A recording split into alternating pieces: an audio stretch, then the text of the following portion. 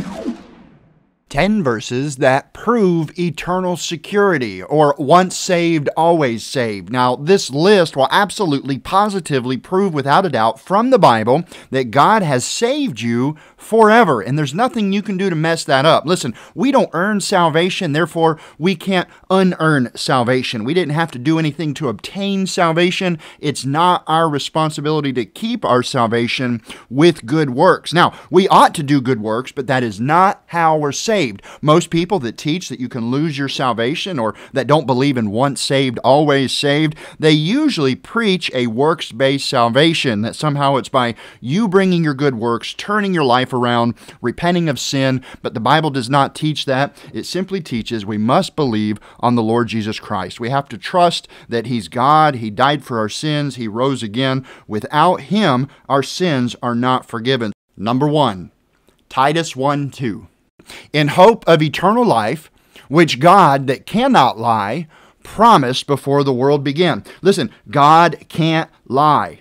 God cannot lie. People that don't believe in eternal security, they're essentially calling God a liar. They don't believe the Bible and they don't believe God. You know, the Bible tells us, He that believeth not God hath made him a liar. You either believe in the hope of eternal life or you believe that God lied and he would take it from you. Number two, John 3:16, very obvious, the most famous verse in the world, and I don't think it's famous by man's will. I believe God has spread this all across the world for his glory. It's so simple. It contains the entire gospel. Look at it. John 3:16. For God so loved the world that he gave his only begotten son that whosoever believeth in him should not perish but have everlasting life. That means anyone that believes and listen, how long does everlasting last for? Obviously, it lasts forever. When it says not perish, he's saying you will not taste of the second death. He paid for all of your sins the ones that you haven't asked forgiveness for, the ones you've forgotten about, the ones that you hope no one finds out about, the ones you haven't committed yet. Listen, those that teach you could lose your salvation because of a sin you have not yet committed, they're teaching that the blood of Jesus Christ is not sufficient for salvation. Number three, John 6 37. All that the Father giveth me shall come to me. And listen, and him that cometh to me I will in no wise cast out. This is the promise of God. I will not cast you out. He has paid for all of your sins. Number four, John 6 47.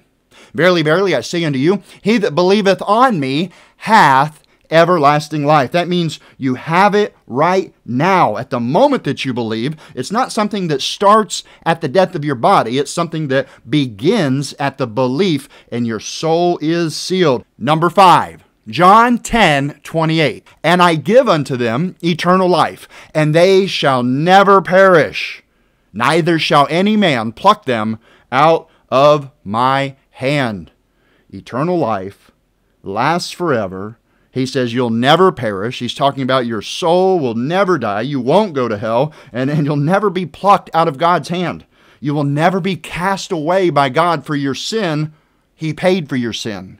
Number six, John 11, verses 25 and 26. Jesus said unto her, I am the resurrection and the life. He that believeth in me, though he were dead, yet shall he live, and whosoever liveth and believeth in me shall never die.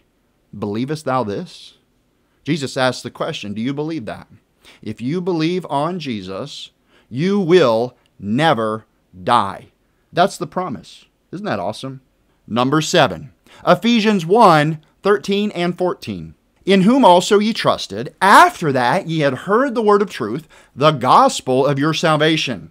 In whom also, that after ye believed, you were sealed with that Holy Spirit of promise which is the earnest of our inheritance until the redemption of the purchased possession unto the praise of his glory.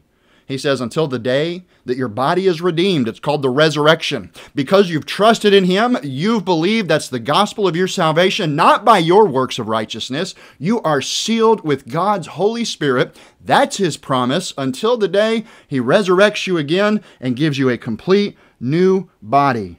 Ephesians 4 says something similar. It says, You're sealed unto the day of redemption. Number eight, Hebrews 13 5. Let your conversation be without covetousness, and be content with such things as ye have, for he hath said, I will never leave thee nor forsake thee. Again, God making you a promise. He will not leave you, He will not forsake you, He will not take away your salvation. Number nine, 1 John 5, verses 4 and 5. For whatsoever is born of God overcometh the world, and this is the victory that overcometh the world, even our faith. Who is he that overcometh the world? But he that believeth that Jesus is the Son of God. We're saved by our faith, trusting that Jesus is the Son of God, making him the God that saves us from our sins. And by that we overcome this world not by stopping our sin, not by turning our life around. It's only by our faith. Number 10, 1 John 5 13. These things have I written unto you that believe on the name of the Son of God, that ye may know that ye have eternal life, and that ye may believe on the name of the Son of God. He wants you to know for sure right now, because of your faith in the Lord Jesus Christ, in the Son of God, that you will live forever with Him that's his promise. Now, listen, these are 10 great verses that absolutely prove there's nothing you can do to lose your salvation. God's promise was you have faith in Him, you trust in His finished work, you've entered into His rest, and you're saved. But listen to me, Christian. If you're saved and you're fooling around with sin, you got sin in your life that you're allowing, you're grieving the Holy Spirit, I want to tell you, God will judge you in the flesh. His promise is that he'll never take away your salvation. But he also promises you, if you're his child, he will correct you. He will correct your body. He will take his blessing off of your life. Listen to me, Christian. If you're living in sin, you better get it right and serve God while there's time. Only you can preach the gospel and get someone else saved. God has called us to set the captives free. Now, what are you doing about it? Thank you for listening. God bless.